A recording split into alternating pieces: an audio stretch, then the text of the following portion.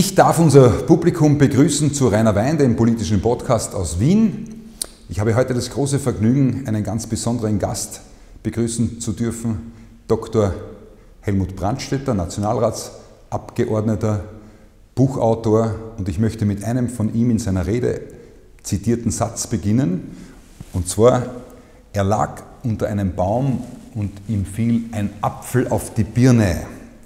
Isaac Newton, und in unserer, es steht in unserer Verfassung, dass die Wissenschaft frei ist, aber bei uns ist sie frei von Visionen. Helmut, ich freue mich, dass du da bist. Helmut, ich freue mich, dass du für unseren politischen Podcast dir die Zeit genommen hast. Danke für die Einladung. Aber ich möchte zur Zukunft kommen äh, und da ist mir eine Anekdote aus der Vergangenheit eingefallen. Er lag unter einem Baum und es fiel ihm ein Apfel auf die Birne. Sie wissen, von wem die Rede ist. Der Isaac Newton. Und äh, natürlich war um 1660, glaube ich, und natürlich ist es nicht jedem gegeben, aus einem persönlichen Erlebnis eine wissenschaftliche äh, Theorie zu entwickeln. Isaac Newton hat das getan und natürlich alles, was wir äh, über Mechanik wissen und die Anziehungskraft der Erde, äh, haben er und andere Forscherinnen und Forscher nachher entwickelt. Und weil, wie gesagt, nicht jeder gleich ein Genie ist, müssen wir Wissenschaft und Forschung, vor allem auch die Forschung, äh, die dann angewandt wird, schon bewusst fördern. Und das ist ein Problem dieses Budgets, äh, dass vier Euro in die Vergangenheit investiert werden und nur einer in die Zukunft. Und das merken wir gerade in diesem Bereich. Und ich möchte äh, zwei Themen besonders herausnehmen. Das eine ist die ESA, die European Space Agency, und das zweite dann künstliche Intelligenz. Äh, wir haben, und das ist das Positive in diesem Budget, ähm, das Budget der ESA um 67, äh, auf 67 Milliarden Millionen Euro erhöht. Das klingt zunächst einmal gut, aber wir sind vorher, haben ein Jahr lang gar nichts gemacht. Und Faktum ist, ESA ist wirklich Zukunft, weil die Raumfahrt wird auch mit dazu entscheiden, wer künftig äh, im Weltall äh, dominiert und wer dort entscheidet. Und Faktum ist, dass wir da nach wie vor zu wenig investieren. Wir sind bestenfalls äh, im Mittelfeld deutlich äh, unter der Schweiz, die haben 3,6 Prozent, wir haben nur 1 Prozent. In der ESA, Belgien hat gar 5 Prozent. Und wir wissen, dass das Geld, das wir in die ESA investieren, Großteil zurückkommt in österreichische Unternehmen. Und deswegen ist es ein Problem, dass wir nach wie vor so wenig Geld dort ausgeben. Und wir haben ein hervorragendes Gespräch mit Josef Aschbacher, dem äh, Österreicher, dem Tiroler, der Chef der ESA ist einmal gehabt, wo er uns sehr deutlich erklärt hat, warum es wichtig wäre, dass wir dort mehr investieren würden. Es geht um Wissenschaft, es geht um Technologie, das war jetzt gerade deine Rede im, im Parlament. Es fehlen viele Millionen. Wir sind mit einem Prozent Budget in, in der ESA beteiligt. In der Schweiz haben wir 3,6 Prozent. Also die Schweizer dürften da einen weiseren Blick in die Zukunft haben. Wie stehst du zum Thema künstliche Intelligenz? Also da, da, kommen jetzt viele Sachen zusammen, aber als ich ins, äh, in den Nationalrat gekommen bin, habe ich zu Beate Mein-Reisinger gesagt, es sind zwei Sachen, die mich besonders interessieren. Das ist Außenpolitik und das ist alles rund um Wissenschaft und Forschung. Erstens, weil es mich fasziniert und zweitens, weil man auch viele interessante Menschen dabei trifft. Und das hat sich auch bestätigt, äh, wobei bei der Außenpolitik äh, muss ich sagen, das hat dadurch, dass ich auch noch der Obmann der Freundschaftsgesellschaft mit der Ukraine bin, dann auch eine tragische Wendung genommen, weil das, was sich in der Ukraine abspielt, schrecklich ist, aber vielleicht reden wir über das noch. Über das Thema Ukraine müssen wir auf reden jeden Fall ausführlich ja, reden. Ja. Also Wissenschaft und Forschung. Also äh, das war, ich war selber, habe selber nur JUS studiert, ja, aber ich war immer von Forscherinnen. Nur stimmt einmal nicht. JUS ist ein, ein, sehr hartes Studium. War, ein, war nicht so, ja. Sitzfleisch. Also, Sitzfleisch, äh, ja, und, und, und Lernen natürlich aber schon auch ein bisschen, ein bisschen mitdenken. Aber es hat aber auch in meinem, äh, zu meiner Zeit historisch sehr interessant, also wie, wie sich das Recht entwickelt hat, das haben wir alles gelernt. Aber ich war immer fasziniert, vor allem von Wissenschaftlerinnen und Forscherinnen, äh, die in, in, in so einem Labor sitzen und wirklich an, an einem Thema äh, jahrelang arbeiten können und dann aber wirklich was rausfinden. Und das Glück vom Isaac Newton hat natürlich nicht jemand, dass ihm ein Apfel auf den Kopf, auf die Birne, auf den Kopf fällt und der hat halt dann darüber gegrübelt und ist dann draufgekommen, also das hat was mit Schwerkraft zu tun und so ist das ganze System der Mechanik äh, ist eben äh, er und andere Physikerinnen und Physiker haben das natürlich dann äh, entwickelt. Ähm, aber das ist natürlich für uns nach wie vor wichtig und natürlich auch für die künstliche Intelligenz. Und auch da bin ich ja nur ein Laie, aber rede mit Menschen und, und schau und lese und schau, was sich da entwickelt. Und wir müssen uns darauf einstellen, dass wir sehr bald in eine Zeit kommen, wo Dinge für uns entschieden werden von einem Computer und wir das nicht beeinflussen können. Wir müssen uns darauf einstellen, dass natürlich, ähm, und das ist ja jetzt schon so, ähm, etwa bei der Bildgebung äh, im medizinischen Bereich, ähm, die Computer mehr wissen. Aber sie werden dann auch, was äh, die Therapie betrifft, mehr wissen und Ärztinnen und Ärzte werden das lernen müssen, bis hin zum Autofahren, wo wir uns daran werden gewöhnen müssen, dass wir nicht eingreifen und ähm, die Intelligenz äh, ganz sicherlich weniger emotional ist, als das heute der Autofahrer ist. Und das sind ja nur einige wenige Bereiche. Ich glaube, dass alle Bereiche des Lebens davon betroffen sein werden. Und mein Appell ist nur, beschäftigen wir uns damit äh, und eben auch mit ESA, mit dem, mit dem Weltraum. Weil auch der Weltraum wird aufgeteilt und wir Europäer machen mit oder machen nicht mit. Da gibt es nur mitmachen. Und dazu kommt, was wir in die ESA einzahlen, bekommen wir großteils für unsere Unternehmen zurück. Das heißt, da haben wir auch wieder hervorragende Unternehmen, die was können. Und so wird dann ein Bild daraus und ich fürchte wirklich eben, dass unsere zuständigen Ministerinnen und Minister da kein, diese große Vision nicht haben. Auch die Begeisterung, die ich bei den Wissenschaftlerinnen spüre und die ich selber auch habe, weil ich weiß, dass es unsere Zukunft ist. Es ist eine Freude. Mir ist als äh, kleiner Bauer auch Apfel am Bauernhof am Kopf gefallen. Ich habe nichts draus gemacht. Aber du hast schon gewusst, dass es die Schwerkraft gibt. Es nicht? ist die Schwerkraft, ja, genau. Ich bin dann sozusagen ausgewichen. Ja.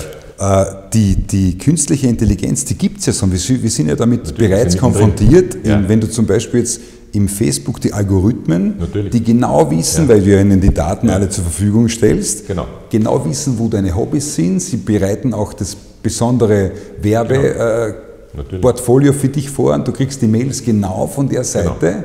die du haben möchtest. Also es ist ja bereits soweit.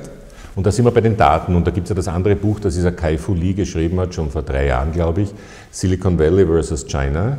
Äh, und da ist Europa kommt auf einer Seite vor, nicht mehr. Du hast heute ein Buch auch vom, vom Kai Fu Lee 2041 vorgestellt. Das, ja, das ist das, das ist das Neue, das er geschrieben hat, gemeinsam mit einem, mit einem chinesischen Science-Fiction-Autor, den er bei Google kennengelernt hat. Ja. Es sind ja viele Chinesen, gerade auch bei diesen großen amerikanischen Datenunternehmen äh, wie Google. Und der Kai Fu Lee hat eben vor drei Jahren schon ein Buch geschrieben, das heißt Silicon Valley versus China. Und da geht es darum, ähm, dass er erklärt, also Europa kommt auf einer Seite vor, wir spielen nicht mit, mhm. aber die Chinesen sind sehr stark und die Amerikaner Amerikaner. Und in einem Satz zusammengefasst, wer wird gewinnen? Seine These, China. Warum? Weil künstliche Intelligenz letztlich eine Frage des Umfangs an Daten sein wird. Wer mehr Daten hat und diese besser auswertet, der wird im Bereich künstliche Intelligenz stärker sein. Da sind wir natürlich beim Thema Datenschutz. Das Wort, glaube ich, gibt es auf Chinesisch gar nicht. Ähm, und da sind sie uns überlegen. Und da geht es jetzt dann auch um die Frage des fairen Wettbewerbs. Und über das habe ich auch schon diese Woche äh, gesprochen im Parlament. Wir müssen auch den Chinesen sagen, wenn, ihr, wenn wir gemeinsam Handel treiben, muss es einen fairen Wettbewerb geben. Und meine Befürchtung ist, äh, dass Xi Jinping das etwas anders sieht. Er sieht sich ja in der Tradition der chinesischen Kaiser, wo man am Hof zugelassen wurde und die Chinesen die Regeln bestimmt haben und sehr lange erfolgreich auch. Ähm, und dann gab es eben also nach dem Opiumkrieg und, und, natürlich dann auch in der kommunistischen Zeit einen Abfall. Aber seit Deng Xiaoping sind die Chinesen durchaus äh, am, am Aufholen und sind natürlich im Moment schon eine Wirtschaftsmacht, aber sie werden noch stärker werden. Das heißt aber für mich übersetzt, dass sich autoritäre Systeme in dem Fall leichter tun. Ja wird ja einfach bestimmt ja. und da wird keiner widersprechen, weil sie wissen, wer da demonstriert auf der Einerseits Straße, ja. wird eingesperrt. Also, also was, was, Daten betrifft, sind sie auf jeden Fall überlegen. Das andere ist, ähm, und über das müsste, kann man nachdenken, muss man nachdenken, ähm, Fantasie entwickelt man eher in der Freiheit, als wenn man weiß, dass man gewisse Sachen nicht sagen darf. Das haben wir in der Covid-Krise erlebt, wo ja chinesische Ärzte das Virus schon erkannt haben, aber nicht darüber sprechen durften. Und damit sind die eigentlich dann zurückgefallen. Die Chinesen hätten das können schneller sein. In der Entwicklung. Wenn, wenn sie ihre, ihre Forscher äh, hätten äh, arbeiten lassen. Das heißt, das autoritäre System bremst auch bremst die Forscher. So, und jetzt ist die Frage, was, also ist das, das, also das bremst, das ist unbestritten, aber bei den Daten sind sie uns überlegen. Die Frage ist, äh, was wird letztlich wichtiger sein? Was wird wichtiger sein? Freiheit oder, oder Autorität also, oder, oder, oder naja, Diktatur? Ich bin, also ich bin grundsätzlich der Meinung, dass es nicht nur wichtig ist, sondern dass es die Grundlage unseres Zusammenlebens ist. Und äh, für mich ist das, und deswegen bin ich auch so ein begeisterter Europäer, ich habe mich auch mit der Geschichte Europas beschäftigt und die Geschichte Europas ist eine Geschichte von Kriegen. Und zwar zurückgehend tausende Jahre zurück. Ja? Also das hat man ja, hat man Funde vor 3.000, 4.000 Jahren vor Christus schon, hat man gefunden, wo man eingeschlagene Schädel gefunden hat. Übrigens auch abgeknabberte Knochen, ja? also auch das Thema ähm, hat auch eine Rolle gespielt, ähm, dass die dann sich gegenseitig, also zumindest äh, Leichen aufgegessen haben. Ähm, äh, so viel dazu. Und jedenfalls die Geschichte Europas, ein Krieg nach dem anderen der französische Staatspräsident Mitterrand hat in seiner letzten Rede gesagt, äh, erstens hat er gesagt, ähm, Le nationalisme c'est la guerre, ja, also aus dem Nationalismus entsteht Krieg. Und dann hat er gesagt, äh, Frankreich hat in seiner Geschichte mit allen europäischen Ländern Kriege geführt. Also mit Österreich sowieso äh, und mit vielen anderen auch. Und er hat gesagt, nur mit einem nicht, mit Dänemark. Und ich weiß bis heute nicht warum und haben dann alle gelacht. Ja? Aber das ist die, das, und das kannst du für jedes europäische Land sagen. Jedes europäische Land hat so gut wie mit jedem Krieg geführt. Und seit 1945 wir in Westeuropa jedenfalls nicht mehr, sondern diese europäische Gemeinschaft wird Kriege verhindern. Wir konnten es nicht am Balkan verhindern, das war der Zerfall von äh, Jugoslawien und wir können es im Moment leider auch nicht verhindern. Aber dort, wo die Europäische Gemeinschaft, die Europäische Union sich durchgesetzt hat, Dort wird es keinen Krieg mehr geben. Und das ist das Größte, was wir über diese EU sagen können. Jetzt deine biografischen Daten muss ich als angenommen ja. äh, äh erwähnen, das kann man auch im Internet na nachlesen, deswegen ja. lassen wir dieses Thema weg. Aufgrund illegaler Kriege, auch der jetzt ja. in der Ukraine gerade stattfindet, vor zwei Tagen war eine unglaubliche äh, äh, äh Angstschür-Situation in Polen mit, einem, mit, einer, mit einer Rakete, die dort gelandet ist, wo dann die Militärs ganz klar festgestellt haben, die Reichweite dieser Rakete ist 200 Kilometer, das ja, kann niemals kann von Russland gekommen ja. sein.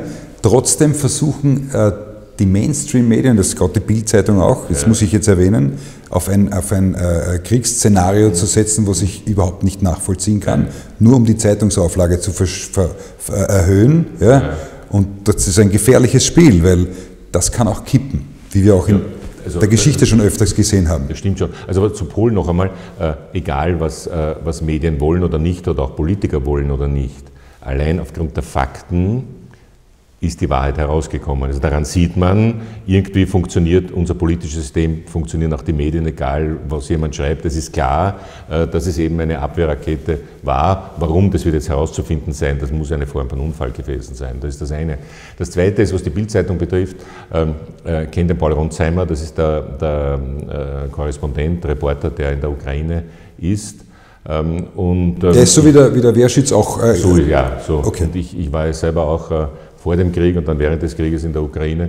Und wenn du dann durch, durch Irpin und Borodjanka gehst, wenn du die zerstörten Städte siehst und nicht nur die Häuser, auch die zerstörten Spitäler, nicht nur die äh, zerstörten Hochhäuser, sondern auch kleine Einfamilienhäuser, Gartenhäuser, äh, die also von, äh, von Panzermunition zerstört wurden, da wird man emotional. Und jetzt ist natürlich der Job äh, des Journalisten, äh, wahrheitsgemäß und faktengemäß zu berichten. Aber äh, ich möchte ihn insofern entschuldigen, wenn man so will, äh, dass der manchmal dann auch emotional wird, ähm, äh, wenn er auch sehr viel natürlich auch mit den Menschen redet, die extrem emotional sind. Stellen wir uns vor, wir würden vergleichsweise angegriffen werden. Dann habe ich ein bisschen Verständnis dafür. Ändert nichts daran, dass der Job der Journalisten ist, Fakten zu berichten. Das ist auch für mich ein, ein, ein Job, den ich zwar nachvollziehen kann, zum Beispiel von Christian Werschütz, ja. der seine Familie das Dreiviertel des Jahres nicht sieht, ja, der dauernd in diesen Kriegsgebieten, auch das ist ja gefährlich, jetzt war er unlängst in, in seinem Hotel getroffen von einer Granate, also das sind ja alles emotionale und auch, auch menschliche äh, Stresssituationen. Schwierig. Finde ich einen unglaublich schwierigen Beruf. Schwierig. Äh, was ich nicht nachvollziehen kann, ist als Familienvater diesen Beruf zu wählen. Muss ich ganz ehrlich sagen, ich bin selber Soldat, ich bin, ich bin selber äh, Offizier beim österreichischen Militär und habe diese Ausbildung gemacht. Ich weiß, um was es geht. Ja. Was ich aber nicht nachvollziehen kann, ist der journalistische, diese Nähe, ja, diese Nähe zum Krieg. Und da gibt es ja unterschiedliche äh, äh Motivationen. Der eine ist ein Suizidsuchender, also der diese Gefahr so weit sucht, dass er sie wirklich sucht, dass er stirbt darin. Das macht mir der Christian Wehrschütz nicht den Eindruck. Der dürfte es ganz gut im Griff haben. Spricht da gute Sprachen und ist in der Kommunikation auch gut. Und du hast doch auch Berührung mit der Ukraine, weil du ja in diesem Zusammenhang auch als Obmann, ja. als Obmann ja, ja. tätig bist. Wie schaut da deine Tätigkeit also, aus? Es sieht so aus, dass ich äh, sehr viel Kontakt hier mit dem äh, Botschafter, aber natürlich auch mit unserer Botschafter in Kiew, dass wir versuchen zu helfen, wo es geht. Es ist klar, dass Österreich als neutrales Land keine äh, Waffen schickt, aber als wir den, unseren Besuch gemacht haben im äh, Juni dieses Jahres, äh, haben wir vorher sowohl mit den Apothekern ohne Grenzen gesprochen, die mit uns gleichzeitig sehr viele Medikamente mitgebracht haben. Und wir haben einen Arzt der Ärztekammer mitgehabt, also ein Mitglied des Vorstands, der sich Spitäler angeschaut hat, was die brauchen. Und jetzt bin ich gerade dabei, zu organisieren, dass wir mehr Hilfsgüter äh, noch hinbekommen. Dasselbe gilt, weil im Moment gerade die Infrastruktur der Elektrizität zerstört wird ähm, dass ähm, ich auch gebeten habe bei österreichischen Elektrizitätsunternehmen, wo könnt ihr Aggregate schicken, das wäre im Moment wesentlich. unser Botschafter hat mir gesagt, äh, wir sollten das nächste Mal auch Waisenhäuser besuchen. Es gibt leider inzwischen natürlich auch Kinder, wo beide Eltern tot sind, der Vater im Krieg gefallen ist, die Mutter vielleicht äh, ausgebombt wurde. Äh, und ähm, wir sollen Süßigkeiten mitbringen. Also jetzt bin Schokolade. ich unterwegs. Äh, äh, so, damals in Sibirien haben sie sich gefreut über die Sachertorte in einer Schachtel. Ja. Jetzt versuchen wir da Dinge aufzutreiben äh, und, und, mitzunehmen und natürlich auch, äh, soweit es und das ist ein ernstes Thema, weil das die Stimmung für Vertriebene auch hier betrifft. Also da bin ich also auch mit Leuten im Gespräch, dass man sagt, das soll nicht kippen, weil die Menschen wollen ja so schnell wie möglich nach Hause. Wir waren übrigens auch in der Republik Moldau, wo ungefähr gleich viel, das ist ein sehr kleines und armes Land und es sind ungefähr gleich viele Vertriebene dort, um die 70.000 wie hier bei uns in Österreich die aber dort den Vorteil haben, dass ja in Moldau auch Russisch gesprochen wird und sie Russisch sprechen und es näher natürlich wieder nach Hause ist. Und ich habe mit einigen gesprochen und gesagt, na, die wollen nicht weg von dort, auch wenn sie wüssten, dass vielleicht in Österreich gemütlicher wäre, dass vielleicht äh, besser aufgehoben wären, sie wollen so schnell wie möglich wieder nach Hause. Und das geht natürlich erst, wenn der Krieg zu Ende ist. Eine Freundin von mir, ist, die habe ich kennengelernt, die ist aus Odessa und ihre Eltern sind in Odessa, sie ist hier ja, ist und sie weit, möchte ihre ja. Eltern besuchen. besuchen. Was schwierig ist, ja. Wirklich schwierig, weil es ist ja Kriegsgebiet, obwohl jetzt die Waffen schweigen. Aus, aus äh, Kherson ist jetzt Russland abgezogen mit 20.000 Mann, haben natürlich dort alles vermint über die Dnepr rüber auf die andere genau. Seite des Flusses. Genau. Daraus entstehen natürlich der erste Nachteil, Eindruck für Putin eine Niederlage, aber militärisch ist es ein Gewinn, weil es gibt einen Staudamm, der in eine Gefahr zur, zur, zur, Überschwemmung dieses ganzen Gebietes äh, äh, geplant ist. Ja? Und das betrifft jetzt die Ukraine. Mhm. Das Problem haben jetzt die Ukrainer, die danach rücken. Die haben erstens das Problem der verminten mhm. Situation dort ja. und haben das Problem der, der, Gefahr von diesem mhm. Staudamm. Ja. Also das ist alles das ist ganz schwierig. Nur andererseits hat Putin ja erklärt, also die Annexion, er hat gesagt, das ist jetzt russisches Gebiet und jetzt muss er seiner Bevölkerung wieder erklären, warum er russisches Gebiet verlässt. Also das äh, habe ich in dem Zusammenhang nicht verstanden. Und die Frage ist nur, wo ist der Punkt, wo er auch einsieht, dass er verhandeln muss. Äh, und verhandeln kann nicht sein, dass man sagt, ja, ich, ich, ich nehme euch so und so viel weg, sondern die Frage wird sein, äh, wie äh, kann die Ukraine ihr Territorium wiederherstellen. Und das haben aber auch wir nicht zu beeinflussen. Also ich glaube schon, dass die Ukraine ist überfallen worden und letztlich muss die ukrainische Bevölkerung sagen, wäre sie bereit, ein Stück herzugeben oder nicht. Wir können sie nicht dazu zwingen. Ja, das ist, kriege ich auch so gut gemeinte Ratschläge, die sollen nicht sagen, eh alles in Ordnung. Naja, äh, wenn irgendwann die jugoslawische Armee in Kärnten eingefallen wäre, ja, wo es ja bekanntlich äh, Gebiete gibt, ähm, wo Slowenen leben und äh, wo der Staatsvertrag bekanntlich auch nicht erfüllt wurde bis in die 90er, 2000er Jahre hinein. Ähm, was hätten wir gesagt? Hätten wir gesagt, naja, dann ist halt ein Stück Kärnten weg. Oder hätten wir uns gewehrt? Ich weiß es nicht. Ähm, ich weiß es wirklich Ich glaube eher schon. Ich bin ja Kärntner, also ich hätte also mich gewehrt. Ja. Die Kärntner gewehrt. Warum? Und, und, und äh, das darf man auch nie vergessen. 1994 äh, hat Russland im Budapester Memorandum die Grenzen garantiert und haben dafür alle Atomwaffen bekommen. Umgekehrt möchte ich mir das gar nicht vorstellen, dass heute noch in der Ukraine Atomwaffen wären, weil dann würde ja die Sache noch einmal anders aussehen. Ähm, aber die Ukraine hat keine Atomwaffen, Russland hat Atomwaffen, hat aber dafür garantiert sichere Grenzen. Und Putin hat genau das nicht eingehalten. Es ist mir völlig klar, dass der Putin sich die, die, den Zugang zum Schwarzen Meer nicht nehmen lässt, weil er weiß, dass für sein eigenes Land das wirtschaftlich der Tod wäre. Ja, er hat es gehabt, nicht? Er hatte die Schwarzmeerflotte hat er ja auf der Krim gehabt, da gab es einen Vertrag bis 2000 äh, irgendwann. Ähm, das heißt, den Zugang hatte er ja, aber es war zu wenig.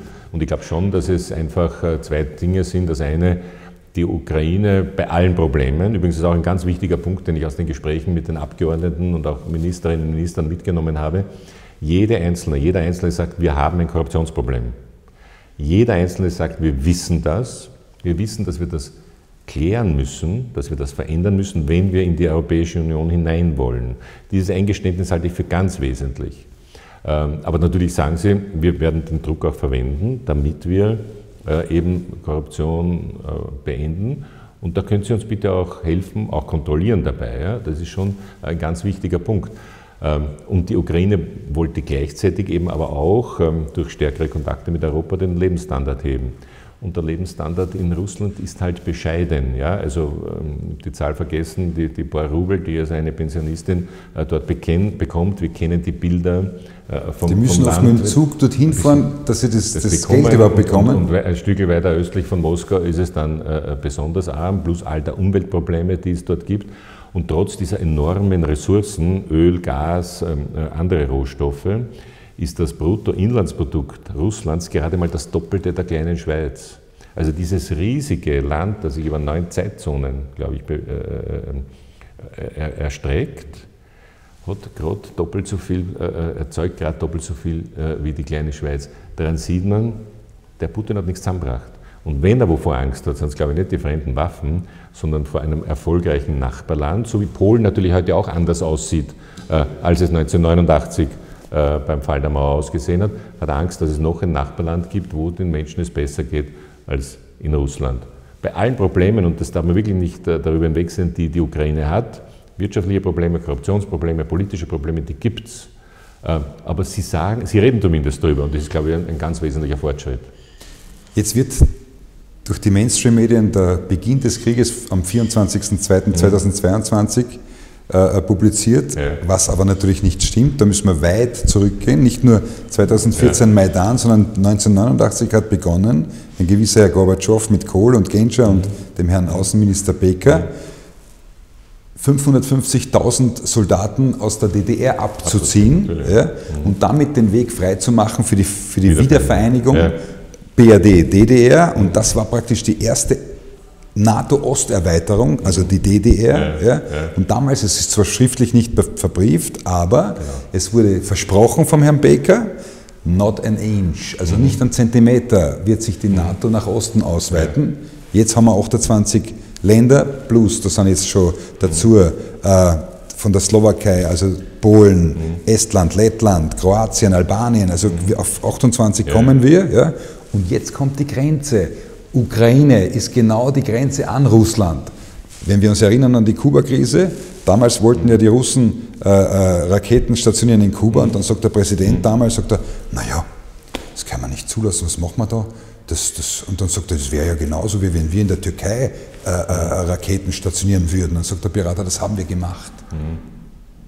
Also genau das Gleiche, glaub, ja. was Amerika bereits gemacht ja. hatte, haben sie in Kuba verboten und jetzt ja. muss man natürlich auch als Putin-Versteher wissen, wenn, de, wenn ein Tier, ein wildes Tier in die Ecke mhm. gedrängt wird, dann greift es an, es muss angreifen. Na, jetzt ist erstens die Cuban Missile Crisis ist 60 Jahre zurück und hat sich ja natürlich äh, technisch sehr viel geändert äh, und wir haben jetzt Interkontinentalraketen. Das heißt, die gegenseitige Zerstörungsmacht ist gegeben. Es ist ziemlich unwesentlich, ob eine Rakete äh, ähm, in Kiew stationiert ist, ob sie in Amerika stationiert ist. Das heißt, die gegenseitige Bedrohung findet ohnehin statt. Das ist das eine. Das zweite ist, und da bin ich ja Zeitzeuge, weil ich damals mit dem Kohl ähm, in, ähm, in Warschau war, als die Mauer gefallen ist.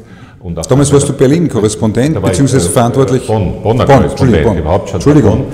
Und wir waren, ich war mit dem Kohl sehr viel unterwegs bei, äh, bei Dienstreisen. Und er hat das in, in, seinem, in seiner Luftwaffenflugzeug natürlich auch mitgenommen. Und äh, es war ihm so, dass er selbst dann auch im Bundestag ja zunächst einmal einen Zehn-Punkte-Plan zu einer Konföderation vorgeschlagen hat. Er hat selbst ja nicht sofort daran gedacht, dass diese Wiedervereinigung möglich wird. Es ist dann aus mehreren Gesichtspunkten natürlich die Schwäche der Sowjetunion. Gorbatschow äh, hat ja nichts entgegenzusetzen gehabt. Und auch das Geschick von Kohl, aber auch äh, Bush und schließlich auch die Margaret Thatcher, die nicht so begeistert war von dem größeren, mächtigen Deutschland, haben dann, es hat alles hat dazu geführt, dass innerhalb eines Jahres diese Wiedervereinigung abgeschlossen war. Und das also war sehr schnell in Wirklichkeit. Was, was, für alle überraschend schnell äh, gelaufen ist. Und dann ist aber das nächste dazu gekommen, nämlich die Frage, wie entwickeln sich diese äh, mittelosteuropäischen Staaten? Und die haben sich zu Demokratien entwickelt. Und in einer Demokratie ist es halt so, dass äh, eine Regierung äh, gewählt wird und dann gewisse Entscheidungen trifft. Und die Entscheidungen werden, wir haben über Geschichte gesprochen, auch aus historischen Erfahrungen getroffen. Und die Polen mit ihren mehrfachen Teilungen, mit dem Überfall natürlich der Deutschen, aber auch ähm, äh, der Sowjetunion, äh, haben gesehen, wo, haben sie, wo genießen sie Sicherheit. Und den Polen war klar, Sicherheit haben sie nur in der NATO. Äh, dasselbe gilt in noch verstärktem Maß natürlich für die baltischen Staaten. Und interessanterweise Schweden und Finnland haben sind jetzt erst richtig, überhaupt nicht daran gedacht, Nein, der NATO beizutreten. Das kann von Putin niemals das Ziel gewesen sein, dass Schweden so, und Finnland und daran sieht man ja, und in die NATO kommt. So, das heißt, das kann nicht sein Ziel gewesen sein. Es ist trotzdem, aber warum haben sie es gemacht? Weil sie wissen, es gibt den Artikel 5, also den gegenseitigen Beistand. Das heißt, sollte ein NATO-Land angegriffen werden, müssen die anderen helfen. Das war bis jetzt nicht notwendig, weil die Schweden und Finnen keine Angst vor einem Angriff hatten, anders als die Polen, aber jetzt haben sie sehr wohl Angst. Und äh, ein gutes Argument auch, weil es heißt, na, der Putin hat Angst vor der NATO. Äh, da gibt es also die, die Exklave äh, Kaliningrad, Königsberg, wo meines Wissens nach 12.000 russische Soldaten versammelt waren, um einen möglichen Angriff der NATO abzuwehren. Was hat er jetzt gemacht, wo er die Soldaten in der Ukraine braucht? Er hat die 12.000 Soldaten abgezogen. Das heißt, theoretisch könnte man sagen, das, wo er glaubt hat, das muss ist schützenswert, Kaliningrad, lässt er jetzt ungeschützt. Aber es ist ja völlig klar, dass die NATO nicht angreifen wird. Die NATO hat noch nie angegriffen. Die Amerikaner sind die, haben Noch nie, da muss ich widersprechen. Noch nie, Na, die, NATO. Muss ich wieder, die, die, die NATO, NATO, hat auch schon einen Angriffskrieg geführt, auch. Und zwar damals in, bei Jugoslawien. Das war ein Angriff, es war kein Verteidigungskrieg. Naja, das war das, ein Angriffskrieg. Ja, da, da und das war nicht verteidigt, sondern das muss man auch streng ja, geschichtlich objektiv sein. Die Verteidigung der Menschen, aber es war ein Angriff. Man muss da streng ja, bleiben. Aber es war Srebrenica. Ja. Und die Europäer waren, glaube ich, zu schwach. Das weiß ich. Und, ja. ähm, und Joschka Fischer, Außenminister, damals, er hat ja dafür den Farbbeutel bekommen, hat damals gesagt, weiß, wer ja. sagt nie wieder Auschwitz, muss auch sagen, nie wieder Srebrenica. Mhm. Und die Eroberungskriege des äh, Milosevic, mhm sind nachgewiesen und dafür ist er ja letztlich dann verurteilt auch in, worden, in, in, Den Haag, in Den Haag verurteilt worden. Ähm, aber äh, äh zurück im, äh, zur momentanen Situation. Äh, und natürlich, und wenn man sagt, die Amerikaner ja, und das ist ja auch äh, historisch eindeutig klar, ähm, dass der, zwei, der dritte Irakkrieg, also der 2007, 2008, hm, dass mhm. das natürlich ähm, damals nicht gerechtfertigt war, weil Völlig die Begründung, nicht. dort sind Chemiewaffen, hat nicht gestimmt. Hat nicht gestimmt, genau.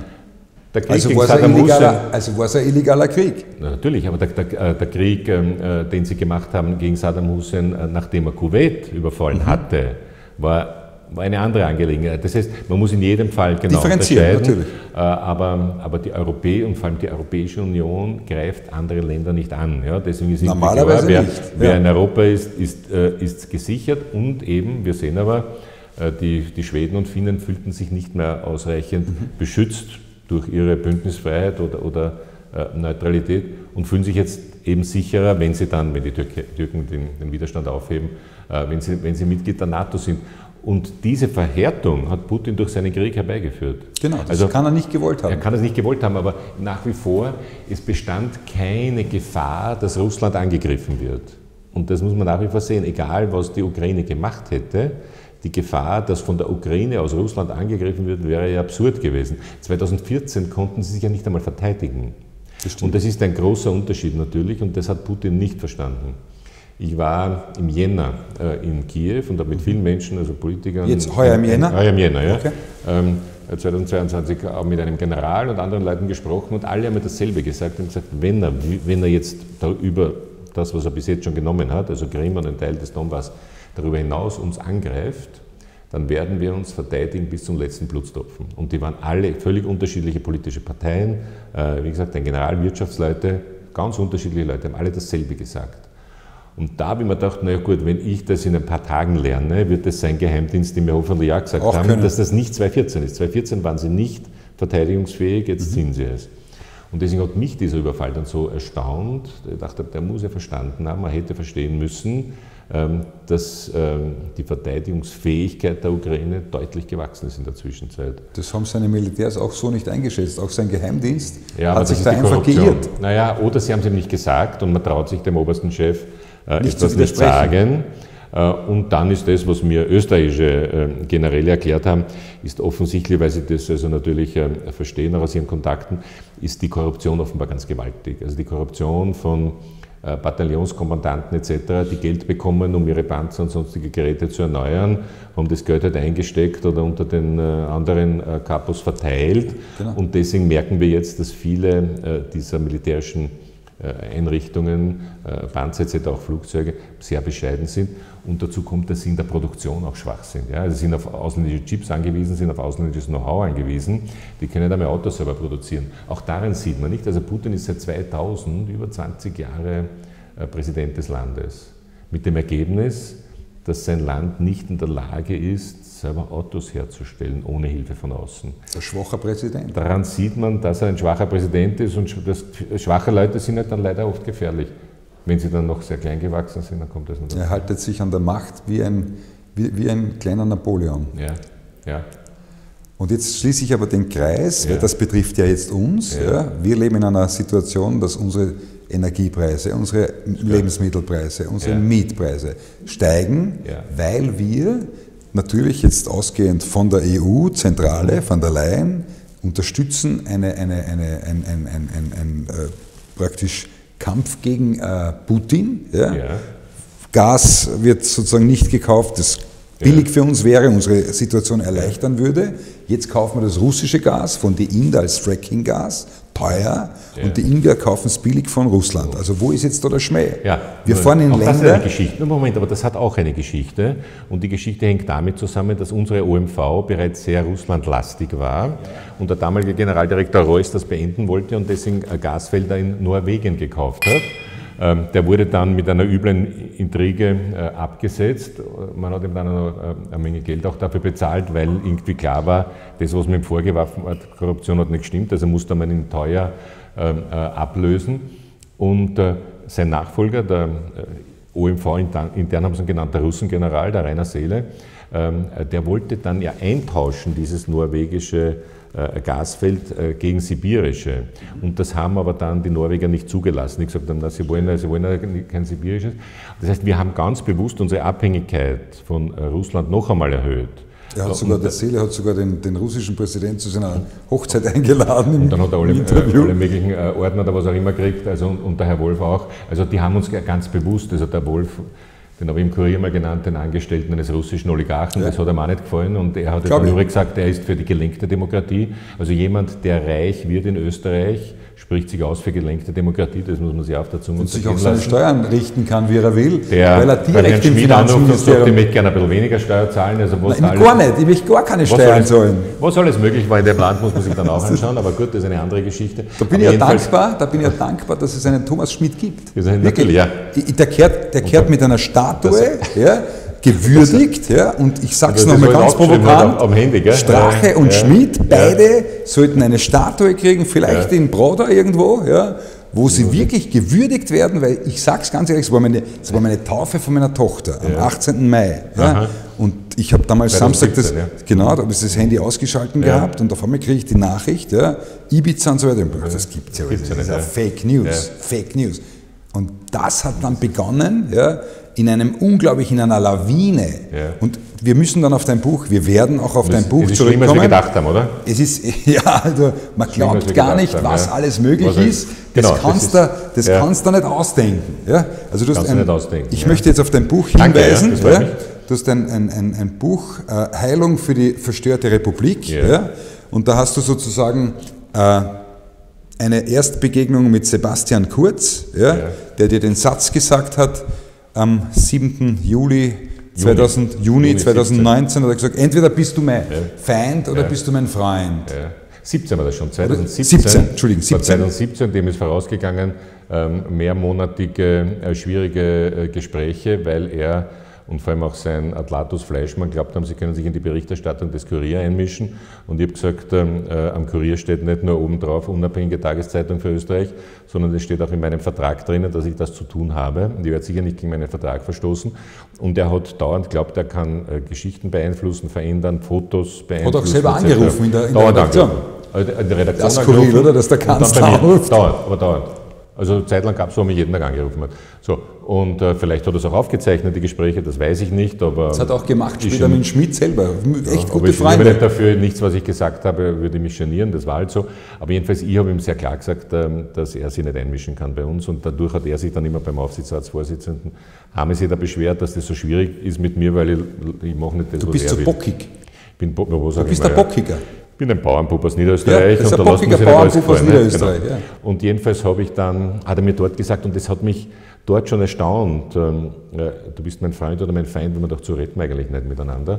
Und ich habe ihn unterschätzt. Äh, später mir gedacht, ich hätte das am nächsten Tag schreiben sollen und dann hätte das vielleicht alles ein bisschen andere Wirkung gehabt. Aber das habe ich nicht gemacht, weil man doch der Bläderbur. Ja, also der hat es halt probiert und ich habe ihm erklärt, es geht nicht und damit ist die Sache angelegt, äh, beendet. Ich habe seine Brutalität äh, unterschätzt und er hat dann weiter und weiter agitiert. Er hat mich dann im November, also nachdem er die Wahl gewonnen hatte, 17, noch einmal ins Schwarze Kamel eingeladen. Und dort hat er mich gefragt, ob ich nicht was im ORF werden möchte. Also er wollte mich unbedingt aus dem Kurier weghaben. Äh, offenbar du warst zuerst, im Lästig? Ich war im Lästig. Zuerst auf die nette Art und Weise gesagt, nein, ich will nichts im ORF werden. Ich war schon mal 15 Jahre im ORF, das reicht. Ich bin schon was im ORF gewesen. War ich schon was, muss ich noch was werden.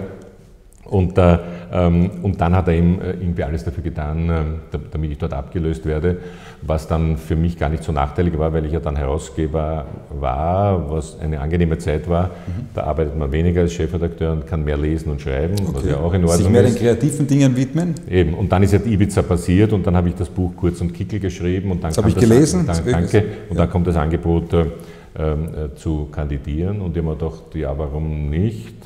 Ähm, jetzt habe ich ja das Journalistenleben ich erlebt. Ich wollte als junger Mensch Politiker werden mhm. Äh, und jetzt kann ich das noch ausprobieren. Und äh, dazu ein wichtiger Satz, den ich auch vor allem jedem Journalisten sagen kann.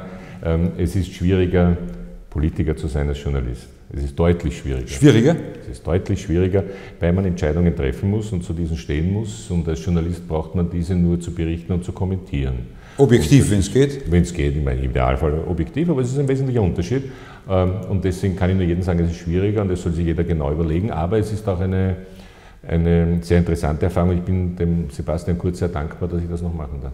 Ihr habt ein sehr äh, ambivalentes Verhältnis äh, gehabt. Da möchte ja. ich etwas vorlesen aus diesem Buch. Wir dürfen natürlich nicht zu viel verraten, damit nicht die nein, Leser das Buch kaufen. Bitte, ja. Bitte.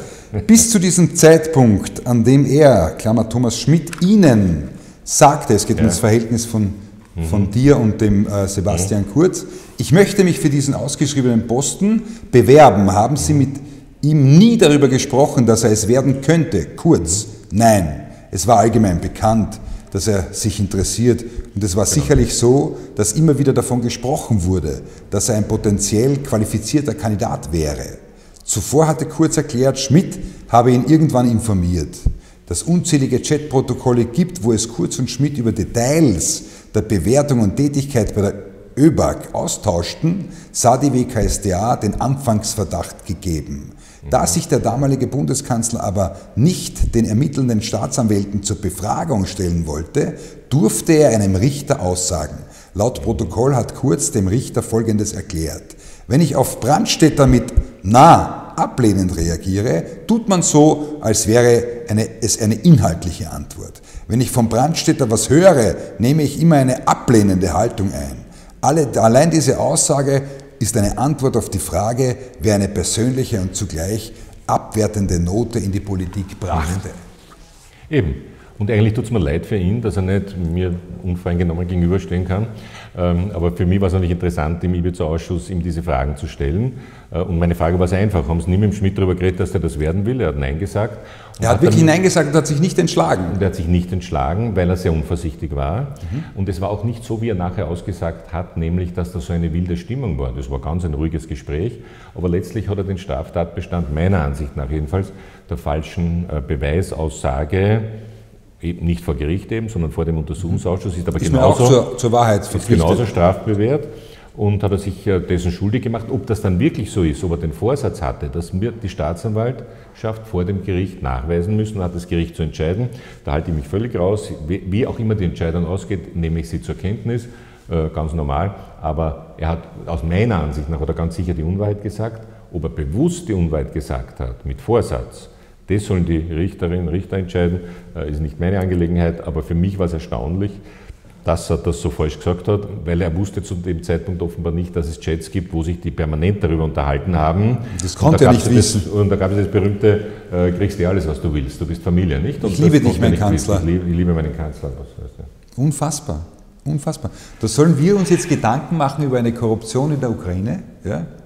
Wir werden jetzt dann nächstes Jahr 19 Milliarden aus der EU dorthin ja. äh, überweisen. Ja. ja. Das wird sich irgendwo verteilen. Wir können es uns leisten, ist kein Problem. Ja. Wir sollten uns eigentlich eher Gedanken machen, wie schaut es denn bei uns aus? Jetzt im Innenministerium. Deswegen, deswegen habe ich ein Buch geschrieben, das Heilung heißt. Also mein Buch ist nicht böser Rückblick, sondern Sauerei, Korruption, sondern ja. heißt Heilung. Heilung. Was machen wir, dass sowas nicht mehr passiert? Passiert ist es, ja. nicht das erste Mal. Na, es gab andere Korruptionsfälle, nein, nein. wie wir wissen. Ja wie wir wissen, andere Korruptionsfälle. Der Unterschied ist für mich der, dass diese Truppe rund um äh, Kurz, also andere sind im Lauf des Regierens halt korrupt geworden. Wissen ja. wir, gab es Beispiele, gab es Rücktritte, äh, gab es äh, Verurteilungen, alles. In dem Fall ist der Unterschied, die sind angetreten, und das glaube ich weiß man inzwischen, mit dem Vorsatz, Unanständiges, möglicherweise auch strafrechtlich Relevantes zu tun und haben es dann auch umgesetzt, sehr ungeniert. Und das ist, und das ist eine kleine Gruppe, eine Partie innerhalb der Partei. Und das ist für mich eigentlich die neue Geschichte und deswegen braucht es auf jeden Fall Heilung. Wir müssen uns von dem, und ich kann die ÖVP auch nur auffordern, sich von dem zu distanzieren, haben sie bis jetzt nicht gemacht, mhm. um zu schauen, ähm, wie es besser wird. Jetzt haben sie nicht denjenigen ausgeschlossen, äh, der also das alles veranlasst hat und dann auch noch Gespräche aufgezeichnet hat, sondern denjenigen, der vor der Staatsanwaltschaft versucht, äh, wahrheitsgemäß auszusagen. Das sagt auch was über die ÖVP. Es ist immer noch ein 37 Prozent zurzeit Anteil, der ja in der Bevölkerung ja bei weitem, bei weitem nicht, nicht, mehr, mehr repräsentiert wird. Und das ist natürlich deswegen dann der Grund, warum sie auch nicht äh, äh, Neuwahlen wollen, weil sie natürlich so stark, wie sie jetzt sind bei der nächsten Wahl, wann auch immer die stattfindet, morgen oder in zwei Jahren nicht mehr so stark sein werden. Mhm. Jetzt ist es ja auch offensichtlich, allein im Innenministerium wurden 80 Beamte, die ja. leitende Funktionen hatten, ausgewechselt. Die mhm. mussten alle abgefertigt werden durch neue Beamte. Mhm.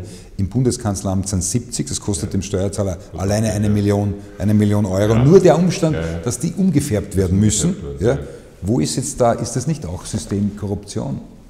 Also wie gesagt, da muss man dann immer unterscheiden, politische Beurteilung und, und strafrechtliche und, und da bin ich schon sehr genau, nicht nur als Jurist, sondern auch als, als Staatsbürger, dass ich sage, da, das ist einer der Punkte, wo ich wirklich von diesem Land, von diesem Österreich überzeugt bin. Ich glaube, dass die Justiz anständig arbeitet.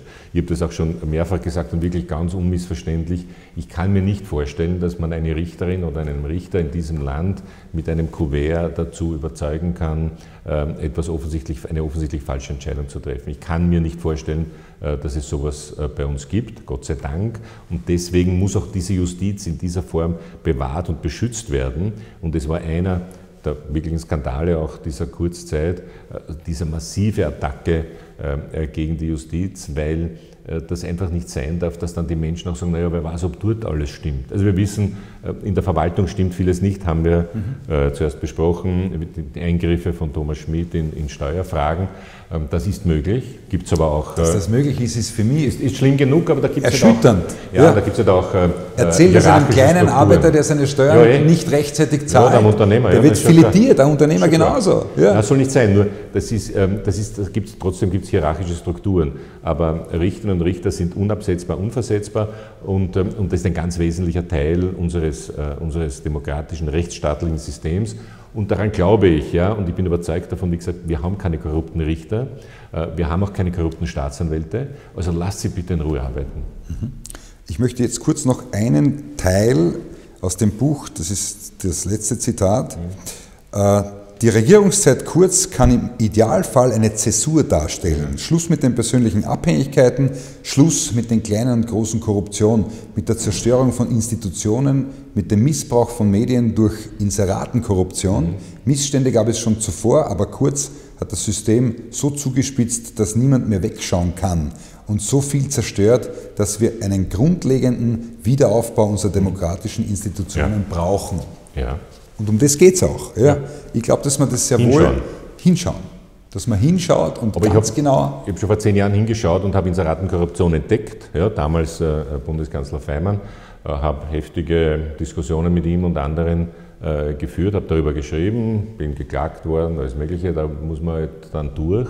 Aber dass ähm, früher schon Regierungen, nicht nur im Bund, auch in Ländern versucht haben, äh, Medien durch Inseratenzahlungen zu beeinflussen, ist Faktum. Mhm. Und da gibt es ein ganz einfaches Rezept dagegen, indem einfach nicht mehr Ministerinnen oder Landeshauptleute zuständig sind, welche Inserate vergeben werden, mhm. sondern anonyme Stellen, die künstliche Intelligenz kann man sehr einfach herausfinden. Ja, da schließt sich ich, der Kreis. Es ja. ist ganz einfach. Wenn ich Soldatinnen suche, Soldaten, wenn ich Polizistinnen suche, dann äh, gebe ich ähm, äh, ein, was ich brauche und dann wird mir das System wird mir zeigen, welche Medien ideal sind auf der Suche äh, zum Beispiel äh, nach Polizisten und Polizistinnen. Und dort inseriert dann diese Stelle anonym. Das heißt, wenn ein äh, Herausgeber, Chefredakteur, was auch immer glaubt, einen Minister unter Druck setzen zu können, nach dem Motto, ich kriege Geld von dir und dann schreibe ich gut, dann ist die Antwort des Ministers, es tut mir leid, ich kann das nicht beeinflussen. Mhm. Das macht diese Stelle im Rechnungshof, wie mein Vorschlag ist, und von dort gehen die Inserate hinaus und ich kann die Stelle gar nicht beeinflussen. Es tut mir leid, wir können jetzt miteinander reden, über alles Mögliche, aber von mir gibt es kein Geld, weil ich keins habe. Ich kann es nicht machen. So könnte sich jeder Minister, jede Ministerin heute schon und auch künftig schützen äh, in diesem Land und äh, ich wundere mich nur, dass sie es nicht tun. Und vielleicht liegt es daran, dass, das, dass sie ja, vielleicht in diese Situation kommen, um, das, ja. um dieses Budget ich zu haben. Nicht, ich möchte nicht in der Situation sein, dass ich Geld habe, dass mir jemand möglicherweise durch mehr oder weniger gute äh, Argumente herausleiern kann. Will ich gar nicht. Sondern da sage ich ja, ich habe meinen Job und ich habe das und das und das und das entscheide ich. Und äh, Journalistinnen und Journalist, ihr entscheidet es dann, ihr schreibt darüber, ob das gut ist oder nicht, aber ich kann euch gar nicht beeinflussen, außer durch äh, gute Worte wenn ich mir den Weg anschaue, wo der Schmidt noch im, im, im, im äh, Finanzministerium ja. Äh, gesessen ist, damals im selben ja. Zimmer wie unser jetziger Außenminister. Ja. Und wenn ich mir denke, was die Jubelbotschaften in diesen Natürlich. Messages, er hat jetzt ein höheres Budget, ich habe ihm das Budget um 60 Prozent erhöht, jetzt kann er Geld scheißen. scheißen genau, wow, wow. Wow, da muss ich sagen, wow. Unser Steuergeld nämlich. Unser, er scheißt unser Steuergeld. Wollen wir nicht. Wir wollen, dass das ordentlich verteilt wird. Muss ich echt sagen, wow. Oder dass wir weniger Steuer zahlen, war halt eigentlich ja, eine Alternative. Das war doch einmal eine Entlastung. Das wäre eigentlich ein schöner Chat gewesen. Wir haben eine Reform, die Bürger müssen weniger Steuer zahlen. Das ja. war etwas gewesen. Aber das war nicht das Ziel der Kurzpartie. Wir sind nicht auf dieser Welt, um Steuern zu zahlen, wir sind auf dieser Welt, um glücklich zu sein. Glücklich zu sein. Dalai Lama, er hat ja. recht. Ja. In, dem, in dem Buch äh, von, äh, dem neuen Buch von Kai Verlutz, 2041 Künstliche Intelligenz, ist ein Kapitel mit Glück glücklich sein und gibt es Möglichkeiten auch äh, durch künstliche Intelligenz das zu beeinflussen oder nicht. Und da gibt es äh, verschiedene Überlegungen, aber auch deswegen ist das Buch lesenswert.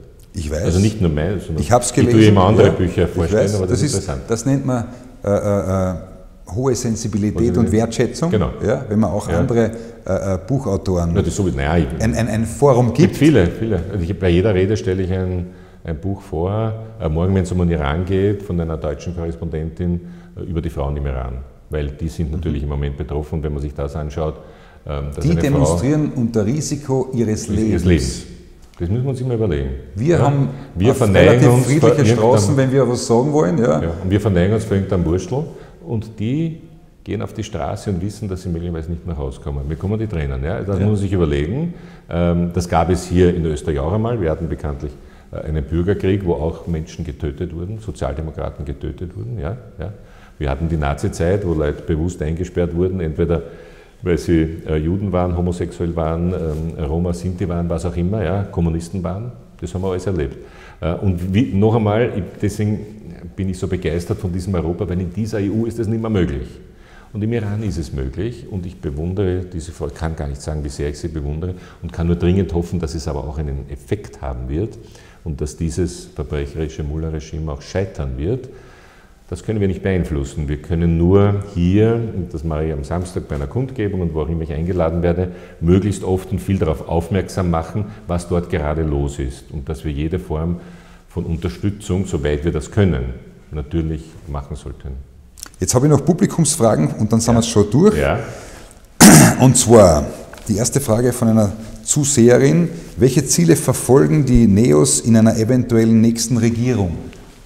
Ähm, also das werde nicht ich entscheiden. Ja, ich bin also äh, kein, kein NEOS-Funktionär, aber aus den Gesprächen, die ich natürlich mit den Kolleginnen und Kollegen führe, wird ein ganz wesentlicher Punkt Bildung sein. Also wir sind in einem Land und äh, einem reichen Land, wo wir aber zur Kenntnis nehmen müssen, dass knapp äh, ein Viertel der 15-Jährigen ähm, die Schule verlässt, ohne dass sie wirklich sehr gut lesen und schreiben können. Das ist ein täglicher Skandal. Also damit, das ist das eine Thema Bildung, das ist natürlich Hochschulbildung, das ist äh, Wissenschaft und Forschung, stärkere Ausstattung dieser Institutionen, aber auch ein Klima, ein, ein, ein, ein bildungsfreundliches Klima zu schaffen, dass es wirklich nicht darauf ankommt, äh, wer deine Eltern sind, sondern dass jedes Kind die gleichen Chancen hat. Und die Kinder, ja, sind sehr unterschiedlich, weiß ich von meinen drei Kindern, alle drei, und jeder, der Kinder hat, weiß, auch die Kinder von den selben Unterschiedliche Eltern Talente. Unterschiedlich, haben unterschiedliche Talente, lernen unterschiedlich. Mhm. Das heißt, man muss mehr individuell auf sie eingehen. Es wird auch Lehrerausbildung, also all dieser ganze Komplex Bildung halte ich ganz für wesentlich. Und ich weiß, dass das die NEOS, und das war einer der Gründe, äh, warum Matthias Stolz NEOS gegründet hat, mit vielen anderen äh, gemeinsam, war das Thema Bildung. Und ein zweites äh, zieht sich auch durch, also durch die Geschichte der NEOS ist natürlich Transparenz. Also mit dem Satz, es geht nicht darum, ähm, wen du kennst, sondern was du kannst, aber auch wie wird, werden öffentliche Gelder verteilt ja? und dort hineinschauen. Informationsfreiheitsgesetz. Jede Bürgerin, Bürger, Journalisten sowieso können fragen, wenn sie, wenn sie Fragen haben. Äh, Informationsfreiheit. Und das Dritte halte ich auch für einen wesentlichen Punkt, ähm, ist sicher weniger Steuern. Das heißt, ähm, äh, egal ob das jetzt die Unternehmer sind oder ob das Angestellte sind, äh, sie müssen von der Arbeit einfach mehr bekommen. Was heißt das? heißt natürlich umgekehrt, dass man genau schauen muss, wo wird eigentlich Geld sinnlos verteilt. Diesen Förderstrukturen äh, zwischen Bund und Land kennen wir ja.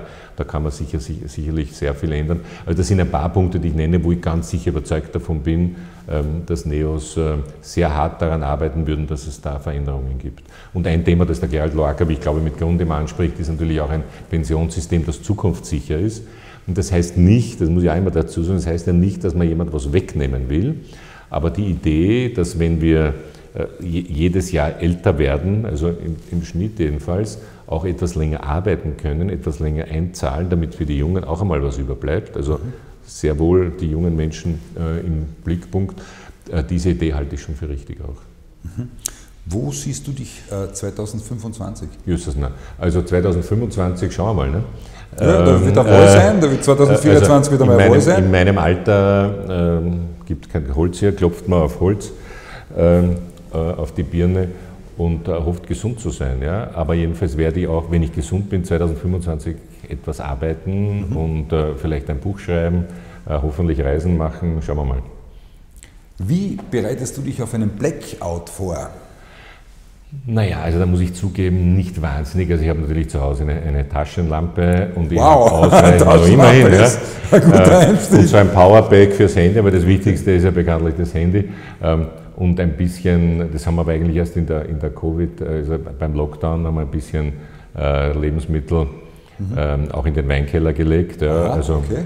Wein ist auch vorhanden. Wein ist auch keine schlechte äh, Basis zum Überwintern. Ja, also, äh, aber es ist nicht so, dass ich mir auch allzu große Sorgen machen würde. Äh, ich glaube schon, dass unsere Systeme da sehr gut funktionieren. Okay. Mit wem im Parlament, nicht von deiner Fraktion, würdest du eine schwere Bergtour gehen? Die Frage von schweren äh, Bergtouren. Wo man Wochen so in den Bergen schlaft ja, und miteinander auch ich den, abseilt? oder, ich mag den wirklich gern, den Philipp Kucher, das ist der okay. Gesundheitssprecher der SPÖ. Mhm. Äh, Habe ich auch schon in Kärnten getroffen. Okay. Äh, das ist einfach ähm, ist ein lustiger Kampel, mit dem kann man. Äh, kann der man, ist ein bunter Vogel in dem Parlament. Ja, und ich ja. Find, also der, Spricht Kärntnerisch. Ich finde, dass, er, dass er gut redet und, und vor allem ist er persönlicher äh, ein wirklich sympathischer, ein wirklich sympathischer Typ. Also äh, mit dem kann ich mir das sehr gut vorstellen. Okay. Dann habe ich noch, was bedeutet Freiheit für dich? Naja, Freiheit ist, ist, ist wirklich Gestaltung. Ja. Freiheit ist, dass ich darüber entscheiden kann, was ich mit meinem Leben mache. Ja. Das ist, wie gesagt, für einen älteren Menschen leichter, weil natürlich der, der, Blick nach vorne kürzer ist. Aber für junge Menschen, und die denke ich immer, ist Freiheit, dass sie entscheiden können, äh, wollen sie da noch etwas dazulernen äh, oder wollen sie arbeiten? Wollen sie in Österreich arbeiten? Wollen sie in einem anderen Land arbeiten? Wollen sie möglicherweise ein Unternehmen gründen und bekommen sie Unterstützung dafür? Äh, aber auch die innere Freiheit, ähm, dass ich, ähm, dass ich auch in schwierigeren Umständen äh, leben kann äh, und dass ich äh, relativ wenig von, von Gütern abhängig bin und mehr ähm, ja, von meinem inneren Zustand, vielleicht von Freunden abhängig bin, aber eben nicht davon, dass ich eine neue Uhr oder ein neues Auto brauche, sondern dass ich ein Leben führen will, wo ich jeden Tag mir am Abend denke, ich habe was dazugelernt, es geht mir gut und, und ich habe neue Ziele und ich kann sie verwirklichen. Das ist, glaube ich, was Freiheit ausmacht. Letzte Frage von einer Zuseherin. Warum brauchen wir ein goldenes Klavier im neuen Parlament? Ja, das ist natürlich jetzt ein bisschen hochgespielt worden. Auch im Prinzip bin ich immer für Kunst und Kultur. Äh, ich glaube auch, dass es schön ist, wenn ein, ein Klavier äh, im Parlament steht. Mir hat eigentlich am meisten gestört die Lösung, dass man sagt, äh, man zahlt da monatlich eine Miete. Der ehrlichere Zugang wäre gewesen, das kostet, ich glaube, 180.000 Euro. Ähm, das leistet sich das Parlament, da muss man allerdings dann dazu stehen. Mhm. Und möglicherweise hat man gesagt, na, wenn es eh nur 3.000 im Monat das verkaufen wir eher als die 180.000.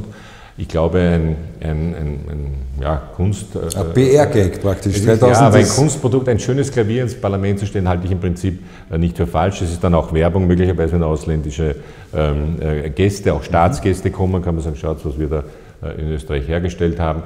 Also von der Idee fand ich es ja nicht so schlecht. Ich glaube, die Umsetzung war falsch und sie war nicht ganz ehrlich.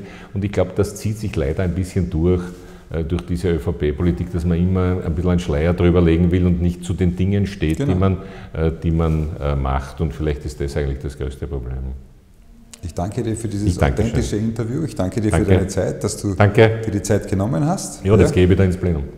Das ist geil. Das ist, das ist ein Tag, oder? So wie es gehört, ja? So wie es gehört. Ich danke unseren Zusehern und Zuhörern für die Geduld. Es war ein spannendes Interview. Danke Dr. Helmut Brandstetter von den NEOS. Es war ein sehr lehrreiches Gespräch und ich danke euch, passt auf auf euch, seid vorsichtig und lasst euch nichts gefallen.